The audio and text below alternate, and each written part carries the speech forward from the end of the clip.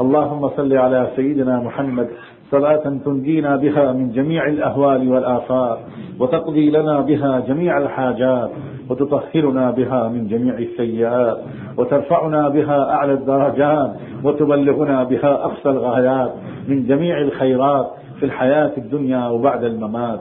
إنك على كل شيء قدير. اے اللہ ہم آپ کے آپ کے حضور میں حاضر ہیں، اپنے قصوروں کا ہم اعتراف کرتے ہیں، ہم خطا کار ہیں، ہم قصوروار، ہم سیاہ کار اور مجرم، اور آپ غفار و ستار، حنان و منان، اے اللہ معاف فرما دیجیے ہم سب کو۔ اب تک کی غفلتوں، گناہوں، معافیتوں کو معاف فرما دیجیے اے اللہ، بڑی امید کے ساتھ آئے ہیں۔ یہ سنا کہ اجتماعی طور پر سب لوگ جمع ہوں گے، وہاں دعا ہوگی۔ سنا ہے کہ اجتماعی دعا کو آپ قبول فرماتے ہیں۔ دوڑ دوڑ کر آئے ہیں اس دعا مانگنے کے لیے آئے ہیں۔ آج قبول فرما لیجیے اللہ۔ اب تک کی خطاؤں کو معاف فرما دیجیے اس پورے مجمع کو محبت کی نکاح سے دیکھ لیجیے اے اللہ اے اللہ، اگر آپ نے بھی دھتکار دیا تو کہاں جائیں گے؟ اللہ، اے اللہ، ایک بچہ اپنی ماں سے ناراض ہو کر گھر چھوڑ کر بھاگ گیا تھا۔ دن بھر بھٹکتا رہا۔ ماں جیسی محبت کہیں نہیں ملی۔ شام کو رات میں واپس گھر آیا۔ دیکھا دروازہ اندر سے بند ہے۔ روتے روتے وہی زینے پر سر رکھ کے سو گیا۔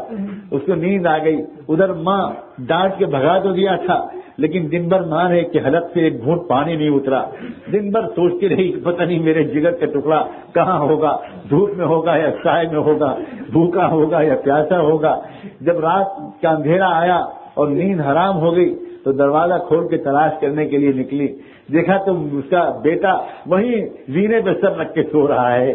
لپٹ گئی، سارا غصہ بھول گئی۔ اور وہ اس کو پیار کرنے لگا، وہ اس کو پیار کرنے لگی۔ ہم نے سنا ہے کہ ماؤں سے زیادہ محبت آپ اپنے خطا کار بندوں سے کرتے ہیں۔ اے اللہ، ہم کچھ دور چلے گئے تھے۔ ناراض ہو کر، کچھ مایوس ہو کر لب بہت بھٹکے، بہت سزا پائی، بہت رسوا ہوئے۔ ماں واپس آ گئے ہیں۔ چوکھٹ پر سر رکھ کے دعا مانگ رہے ہیں۔